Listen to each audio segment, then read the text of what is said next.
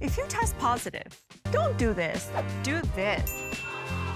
That's how you do Colorado right.